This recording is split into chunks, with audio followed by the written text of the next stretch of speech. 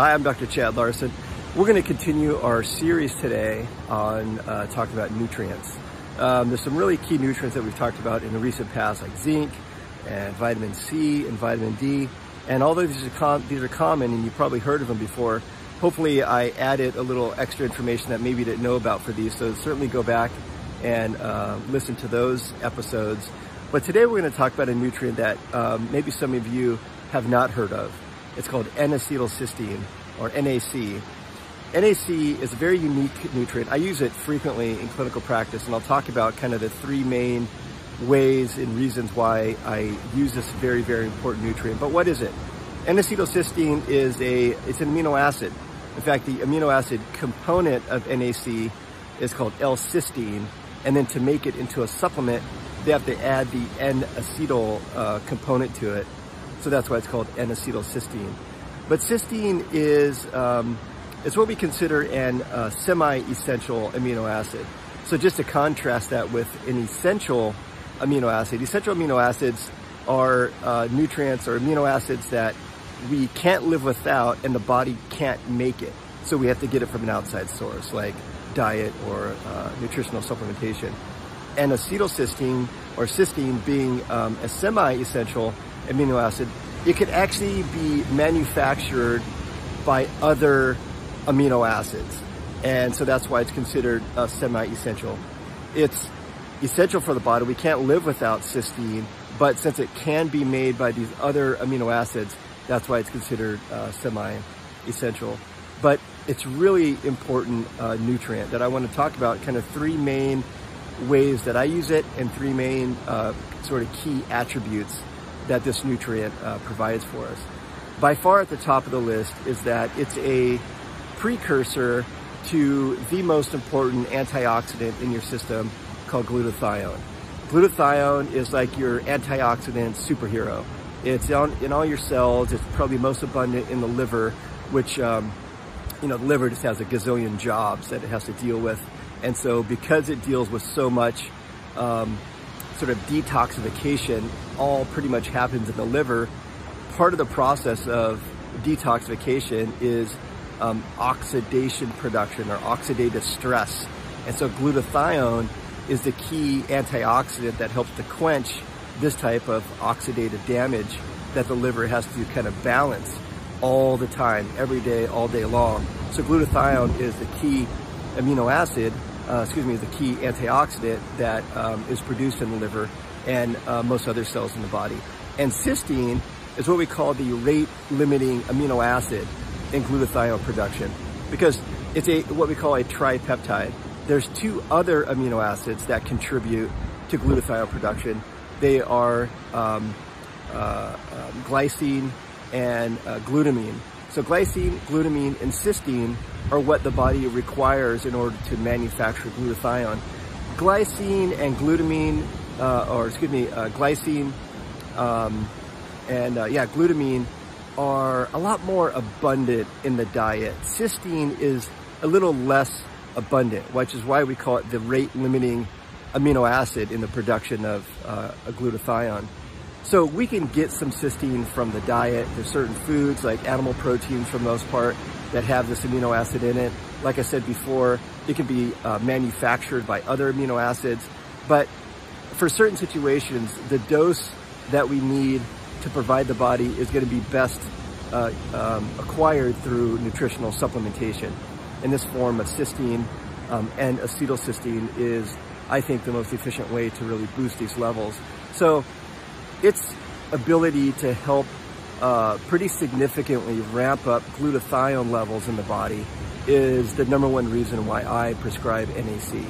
Um, it's a great way to just provide the body very quickly with this very key cofactor and building block for glutathione. So glutathione we've talked about in, kind of weaved it in multiple episodes because it's such an important antioxidant.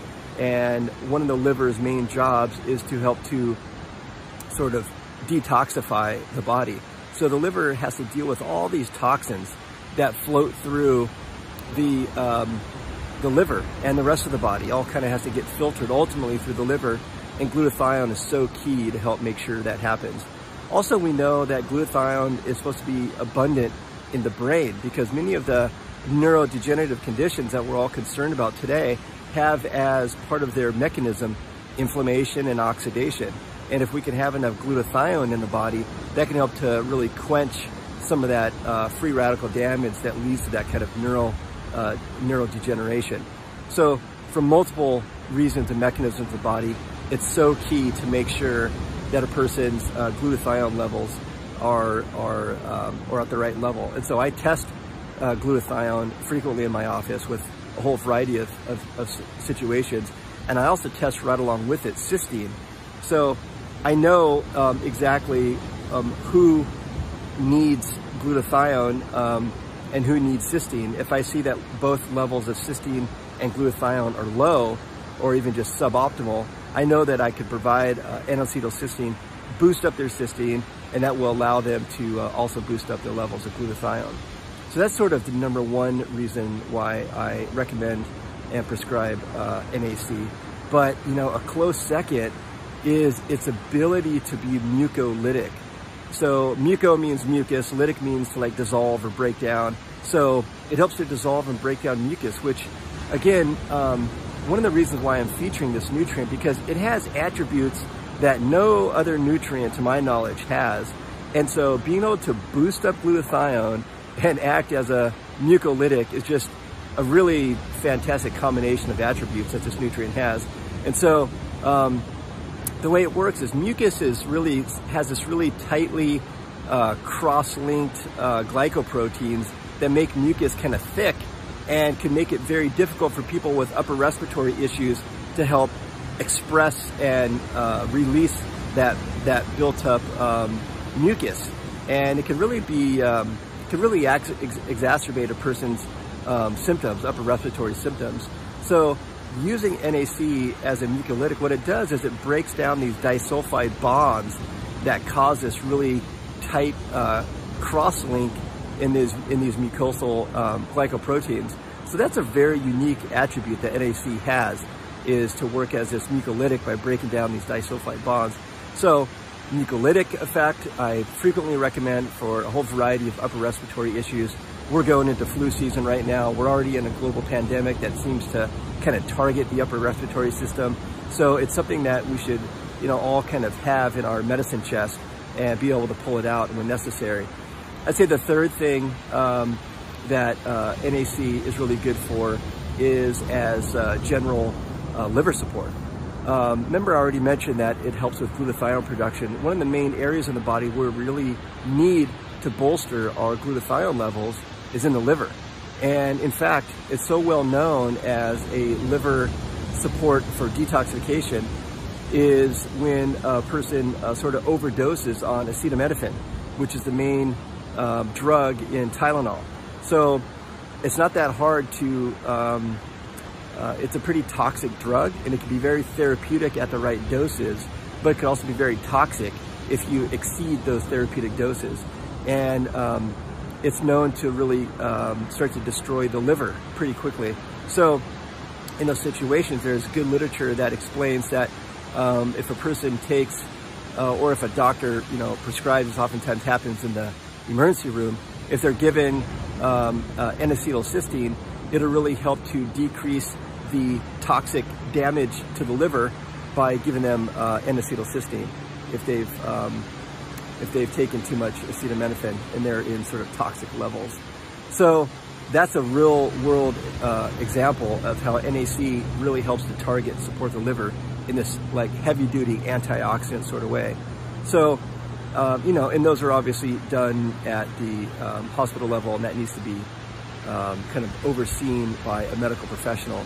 But it's fascinating that even at the lower levels, that it can give you some good general liver support. So if I'm treating a patient and they have, um, you know, something like NAFLD, non-alcoholic fatty liver disease, and we're treating that and we're treating the underlying metabolic syndrome sort of mechanism to that, oftentimes we'll use NAC as good as a good like general liver tonic because we know it really helps to boost up the glutathione levels um, in the liver and help to decrease inflammation and oxidation.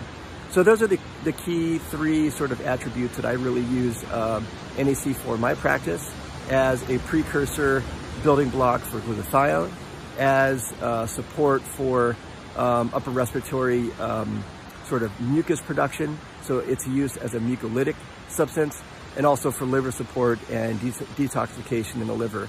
So again, these are three attributes that I can't really think of any other nutrient um, can do it quite like uh, N-acetylcysteine can. So hopefully um, you learned something about this nutrient and some ways that you might be able to use it in your own life.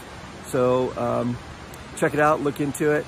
I will keep reading the studies and bringing you the information. Until then, keep it real.